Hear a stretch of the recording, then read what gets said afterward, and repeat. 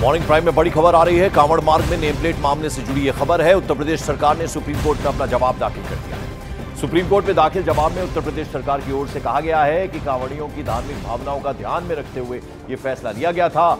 लाखों लोग पवित्र जल लेकर यात्रा करते हैं। उनके साथ गलती से भी कोई चुक ना हो। किसी छोटी सी कंफ्यूजन के कारण भी कांवड़ियों की धार्मिक भावनाओं को चोट लग सकती है।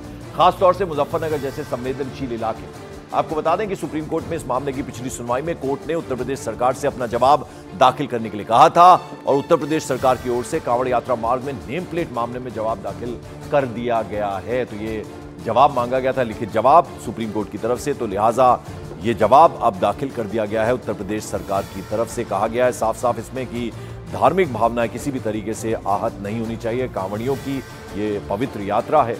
और ऐसे में उनकी जो धार्मिक भावनाएँ हैं, उसको किसी तरह की ठेस ना पहुँचे। इसका ख्याल रखना ये कहते हुए जवाब दाखिल कर दिया गया है। क्योंकि ये जवाब मांगा था सुप्रीम कोर्ट ने उत्तर प्रदेश सरकार से। तो तस्वीरें हम आपको दिखा रहे हैं। उत्तर प्रदेश सरकार का जवाब, उसमें यह कह दिया गया है कि धार्मिक भावनाएँ कांवड़ियों की आहत नहीं होनी चाहिए।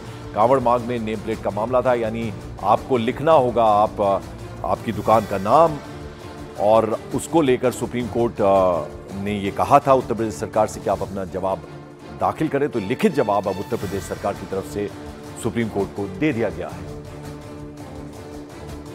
विक्रांत यादव हमारे वरिष्ठ सहयोगी, इस खबर पर हमारे साथ जुड़े। विक्रांत तो जवाब दाखिल करने के लिए कहा गया था, सुप्रीम कोर्ट की तरफ़ से उत्तर प्रदेश सरकार को तो ये जवाब दाखिल कर दिया गया है। क्या कुछ बातें हैं उसमें? कुछ जरा बताएँ उस पर।